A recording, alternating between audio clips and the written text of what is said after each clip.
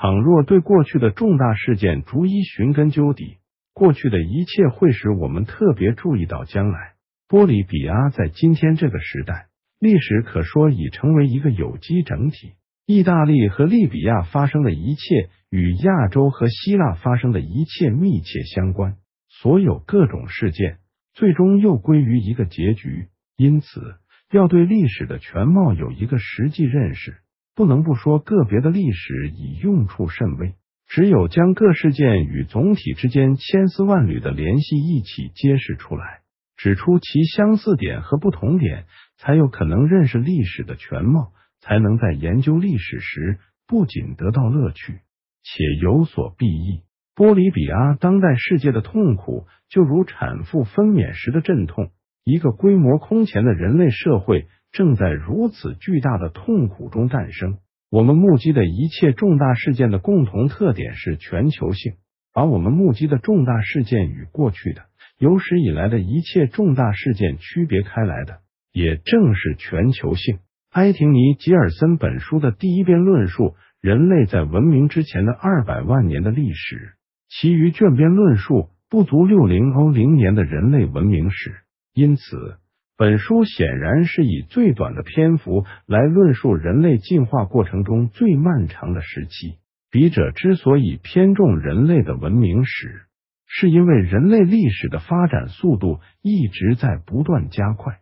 地质年代以数十亿年为计算单位，人类史前时代以数千年为计算单位，而自从文明到来之后，纪年单位不断缩小，已是以数百年甚至数十年为计算单位。时至今日，每天都有重大的事件无休无止的蜂拥而来，无情的包围着我们。变化之速确实已经引起了一个非常实际的问题：人类是否能迅速适应变化，以避免被淘汰甚至被灭绝的命运呢？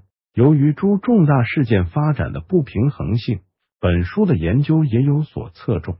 但是，这并不是说我们就可以因此而低估史前时代所发生的一切的意义。在史前时代的千万年中，有两大发展为以后的全部历史奠定了坚实的基础。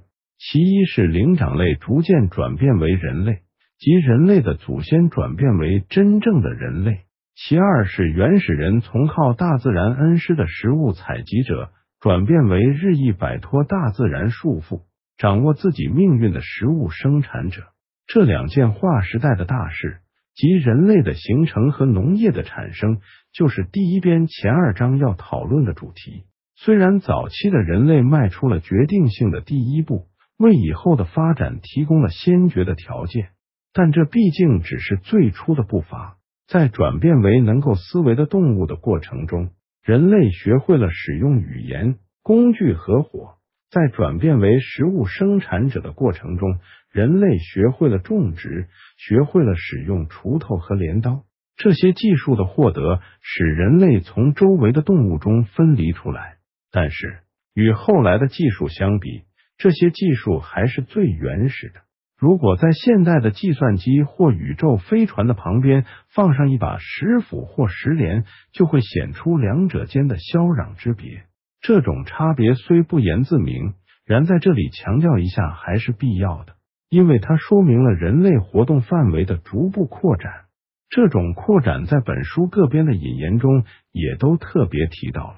技术愈原始，其使用范围也就愈有限；反之，技术愈先进，其使用范围也就愈广阔。史前时代，食物采集者的活动只能局限在进行狩猎活动的方圆数英里内，原始耕作者的活动。只能局限在自己所在的村落及周围的田野和牧场上，因此史前时代人类各群体的活动范围可以说是地方性的。本书后面各编和一五零零年以来的世界一书中所记述的人类后期的历史，在很大程度上，也就是人类的活动范围如何从当地扩展到地区，扩展到各地区之间，进而扩展到全球。扩展到星际的历史。